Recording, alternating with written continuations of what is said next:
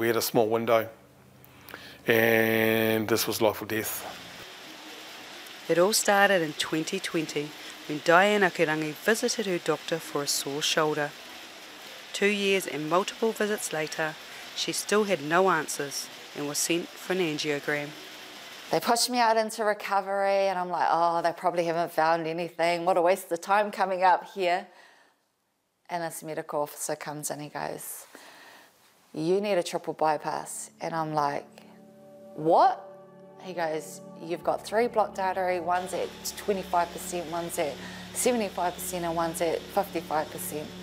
And I said, Are you sure you've got the right person? He goes, Yes, it's, it's you. And I said, No, no, no, I can't. He said, Why not? I said, Because my nutrition is awesome, I'm fit, I'm healthy. And I said, I can't. He goes, No, you do. You need a triple bypass. Because at that time,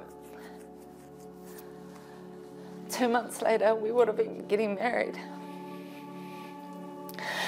And all I could think about was, oh my God, they're to cut me open.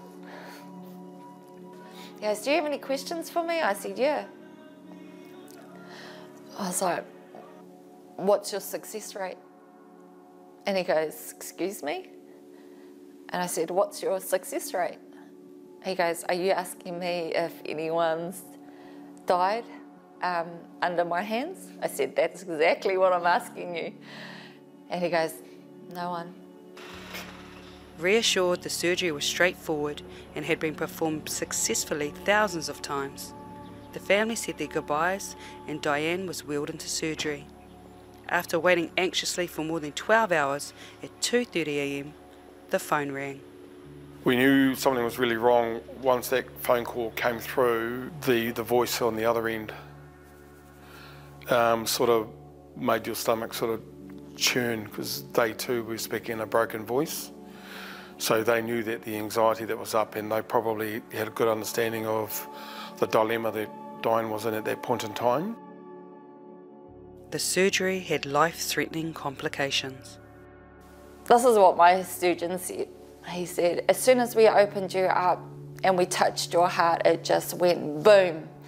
It spasmed so hard that we've never ever seen anything like it. He said, we did the triple bypass and it didn't work. He said, we then harvest the vein on your leg to do a quadruple bypass and that didn't work either.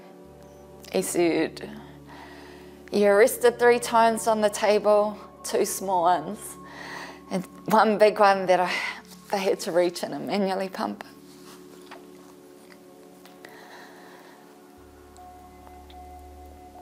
They said we didn't know what to do. You had a lot of surgeons in the room with you, a lot of experience, and we were all flabbergasted.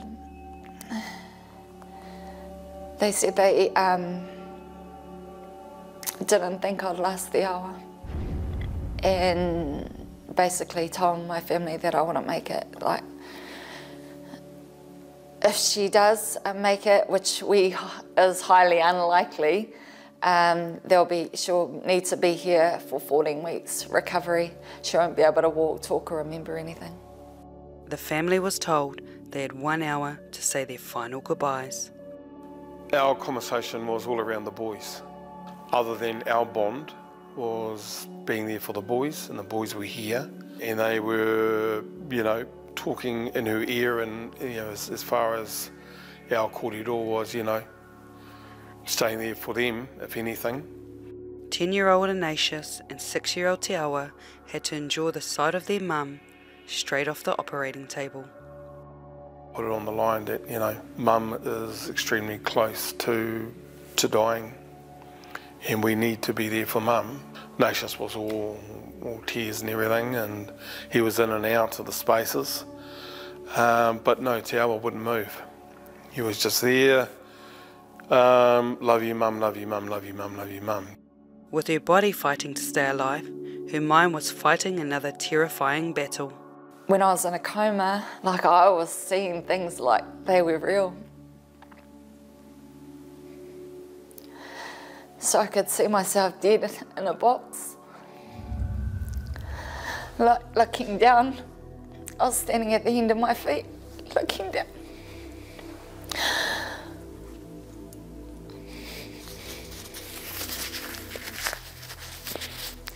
Iwati talks about his cousin Booker all the time, and he was there too. He was kind of looking after me, positioning my body in this coffin.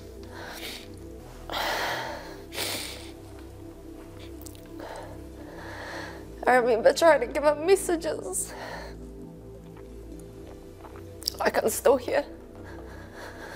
It was like I turned my back and I just flew as fast as I could. And I ended up back here in Gizzy. And I was hovering above Pohorauri Marae. And I could see all the people gathering for my tangi, lots of them.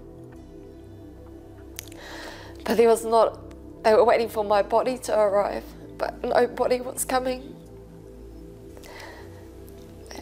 And that's when I thought, maybe I'm going to be all right. While in the coma, I could hear my boys, Te Awa, saying, I love you, Mama. And Naish going, fight, Mum, fight.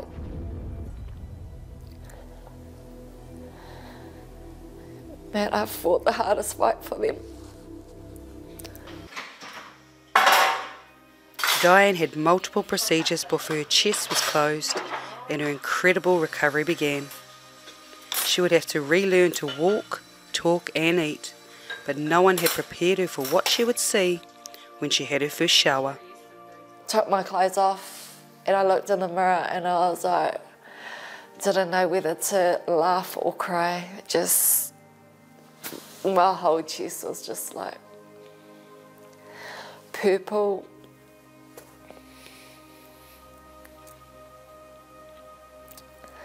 holes.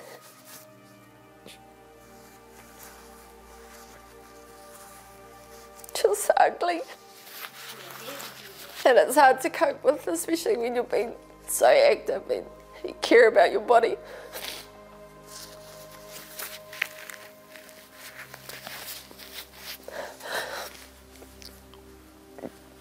You know, laugh because you actually pulled through the surgery and cry because you look freaking ugly, you know.